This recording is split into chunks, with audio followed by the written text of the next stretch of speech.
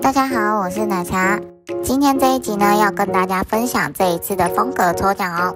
温暖灯光节呢，大部分都是属于家具类的。这次呢，一样有这个载具，但是是热气球，速度呢是二，跳跃力有三哦。像之前活动的热气球啊，跳跃力只有一点八，速度的部分呢是一样的。那我们看一下它跳跃力，它上升的幅度呢就没有很高啦。像那个冰淇淋热气球呢，也是一样的，跳跃力也只有一点八哦。刚好在广场有遇到这个热气球，给大家看一下，它上升的幅度其实很高哦。然后在移动的过程中呢，有这种像星星的东西飘下来。这边呢，就给大家参考一下喽。整体下来呢，我觉得蛮漂亮的。接下来呢，看一下它的几率，热气球跟翅膀的几率都只有一趴哦。我们简单看过一下，有哪一些东西呢？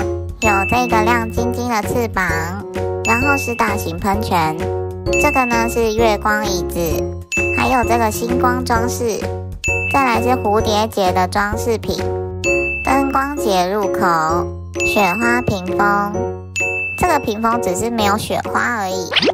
然后是这个拱门，还有灯光节斜屏风。最后呢是路灯。这次呢是由丽丽来分享她的抽奖，因为奶茶本身呢比较少在布置这些东西。然后这一次的热气球跟翅膀其实没有太特别吸引我的地方。首先丽丽先示范的是单抽。第一抽抽到了雪花屏风哦，接下来呢换第二抽，是这个蝴蝶结装饰品，再来第三抽，第三抽又是蝴蝶结，然后换第四抽，这一次不一样了，是这个斜屏风。接下来丽丽就是一次十抽喽，我们看一下她十抽会拿到哪一些东西呢？雪花屏风一个。哇，又是一个雪花屏风，这一次不一样了，是这个星光装饰。哇，怎么又一个星光装饰啊？这一次换成喷泉了。哇，怎么又是喷泉？这重复率好高哦。这一次换成月光椅子喽。再来抽到了这个路灯。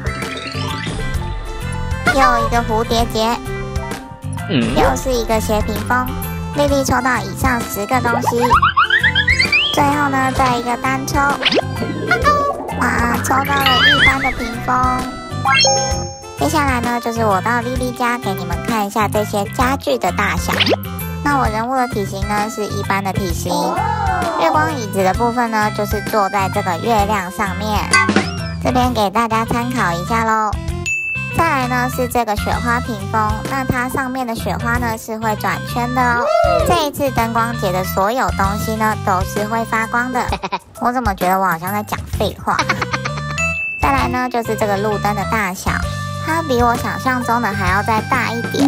原本以为它很小的，像旁边的斜屏风呢也是。